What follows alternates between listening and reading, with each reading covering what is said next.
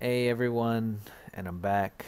Today I am showing the Tsuno Asanoha Kumiko pattern, which I designed in uh, Fusion 360 and Tinkercad. This is a very easy pattern. It only has three centerpieces. Uh, anybody can make it. So I made the outside main triangle pattern with a thickness of 10 millimeters and a length of 150 millimeters. I set each corner at 60 degree angles. After that was made, I moved on to make the three center pieces that you're going to need.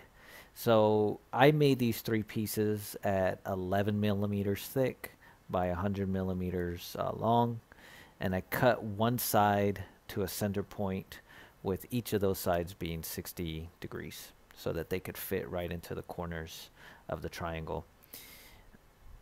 Now you want those three little pieces to overlap on each other so it forms kind of like a, I guess a Y or X sort of pattern. Um, the final pattern I put into Tinkercad and I use copy and paste to make it a big square. Uh, probably use it for another coaster.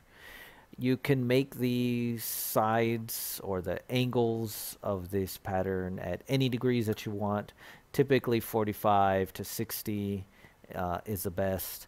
Um, it's very easy. Just make sure you cut the center point at the uh, correct degrees so they fit right in or wedge right into that um, triangle piece.